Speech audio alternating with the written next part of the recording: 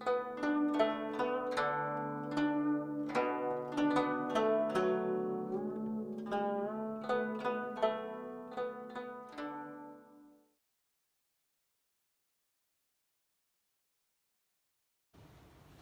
and welcome to this episode of China Bao.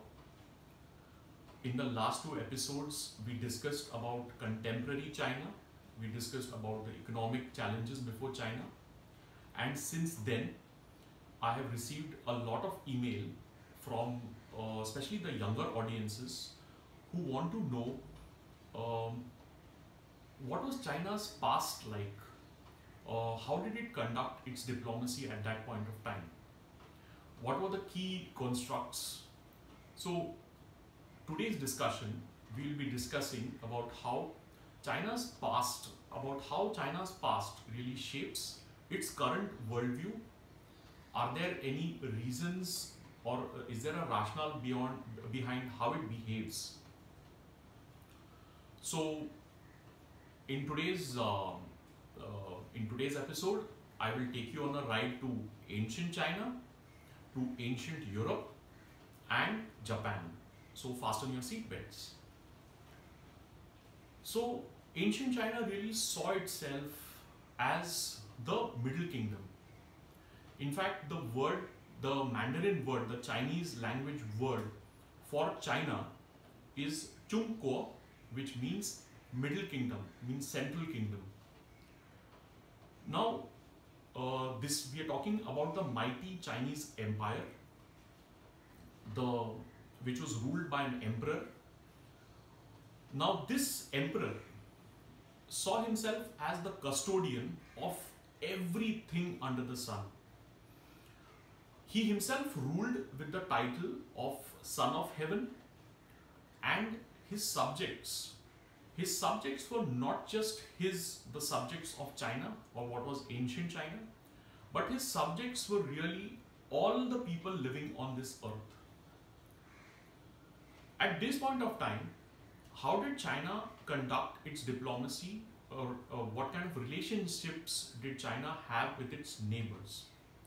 So, um, to understand this, we have to understand the whole concept of Tianxia. Now, Tianxia basically meant that China's neighbors had to acknowledge its centrality, the fact that it was at the center of the universe or the center of the world. It had to acknowledge the fact that the Chinese empire, the Chinese civilization, was a superior civilization.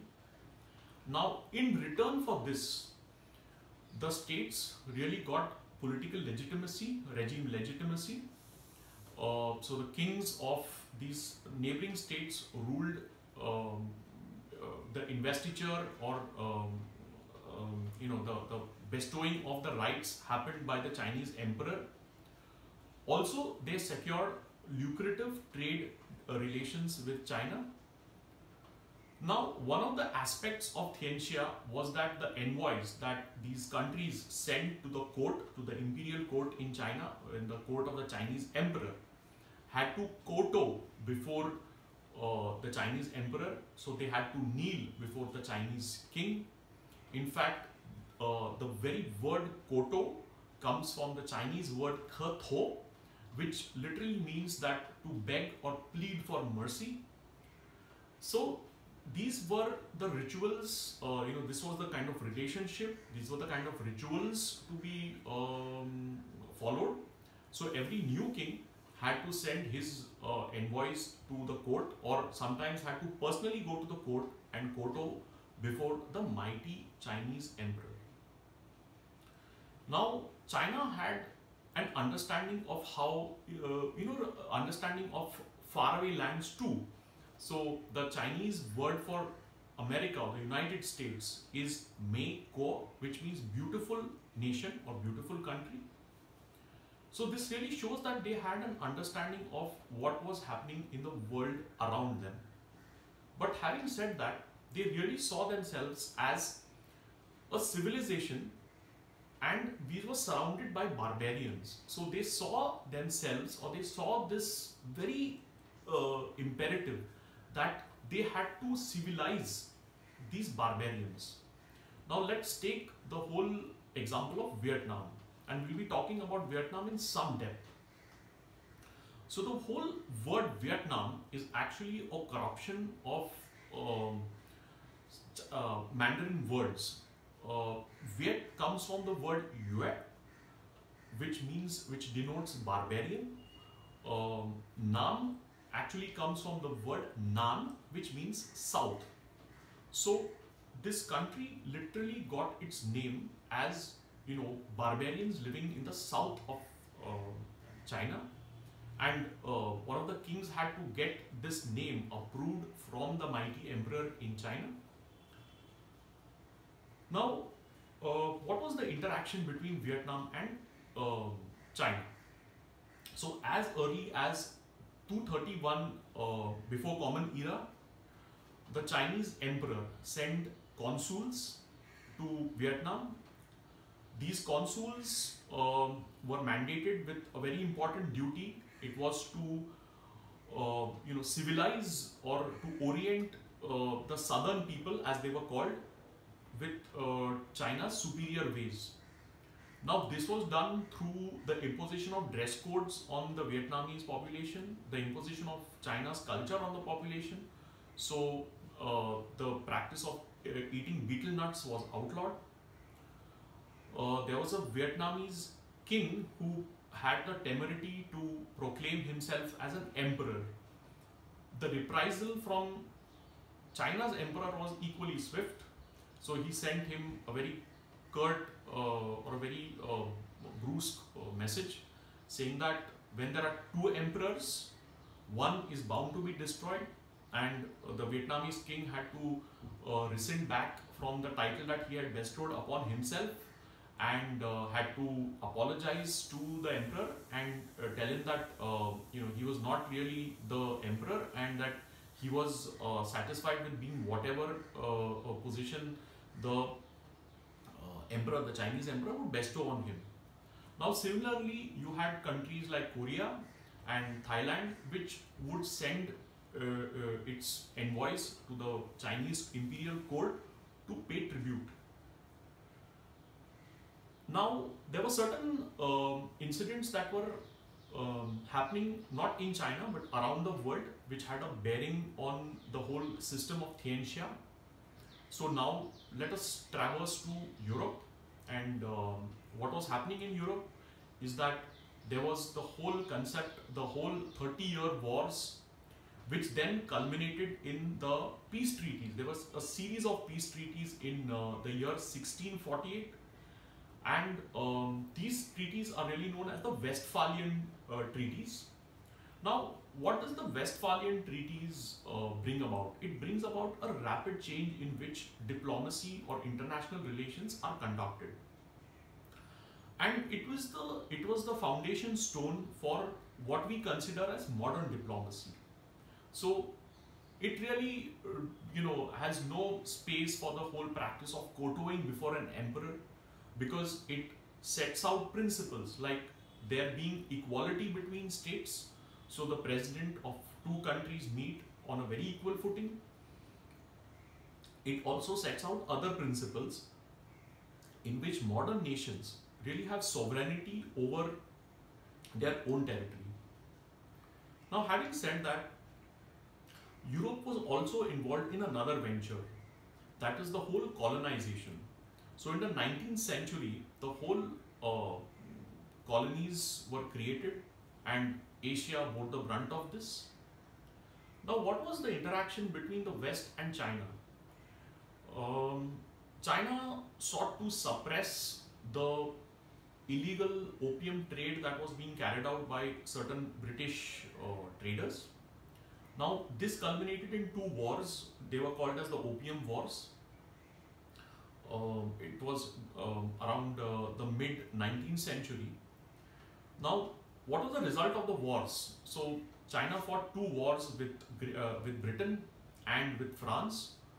Uh, the outcome of these two wars was that China had to pay the emperor. The emperor had to pay a huge compensation to Britain, and the total sum of this was that it really weakened the Chinese emperor.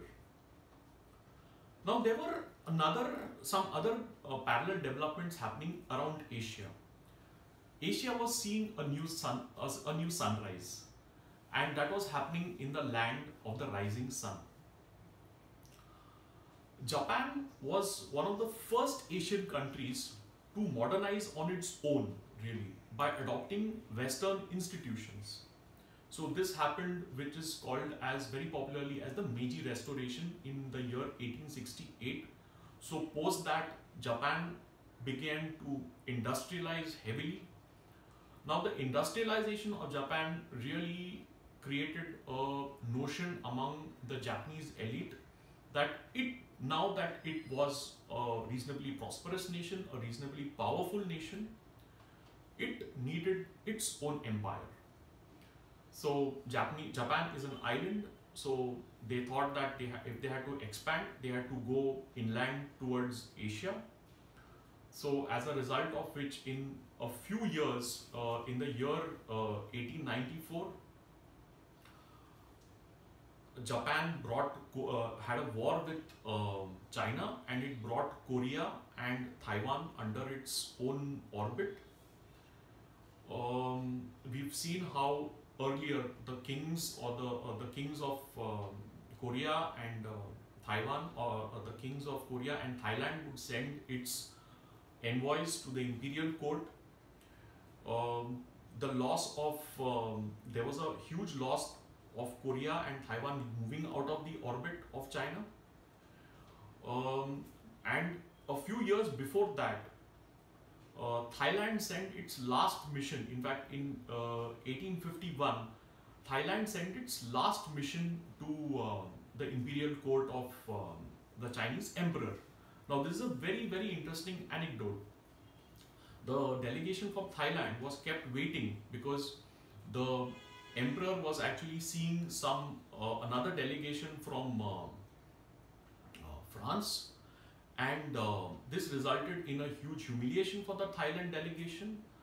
Uh, the same Thailand delegation then stopped at uh, Hong Kong and at that point of time Hong Kong had a governor general and his name was John Bowring. Now John Bowring really convinced upon the the Thailand envoys that under the Westphalian uh, system, uh, countries really didn't go out to pay tribute to, uh, you know, to the Chinese emperor because you know diplomacy had fundamentally changed and that, that they needed also to modernize themselves.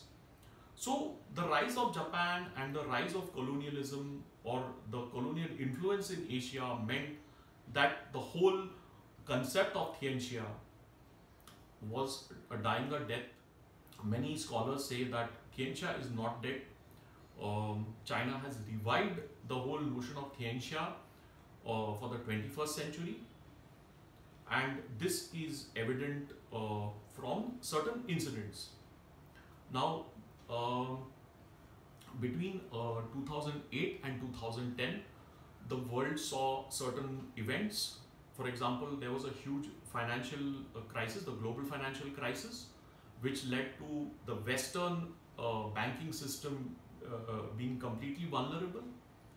Uh, it also saw the rise of the Chinese economy. The Chinese economy actually overtook the Japanese economy around that time. Now, these incidents were not uh, were seen as a a, a big booster for China so the official media, the official media in China portrayed this as the whole victory of the Chinese civilization. The fact that China had won and the West had lost due to its own uh, intrinsic, the China has won due to its intrinsic, uh, uh, the, the strength of its core systems and the West has lost because, uh, you know, the Western systems are not really, uh, are really weak. And um, subsequently, we've seen China roll out what is called as the Asia Infrastructure Investment Bank and the Belt and Road Initiative. Now, many scholars say that these are really the tools of Tianxia 2.0. Now, um, if there's a Tianxia 2.0, what was Tianxia 2. uh, what was Tianxia 1.0? So Tianxia 1.0, we've discussed it earlier, so I would like to just recap this is that um, China's neighbors were in quite an awe for its size, its technology, its cultural appeal, and its military prowess. So even though uh, China was seen as a hegemon, there are many emperors who, there are many small kings who uh, sought China's military interventions and China's uh, uh armies have bailed them out.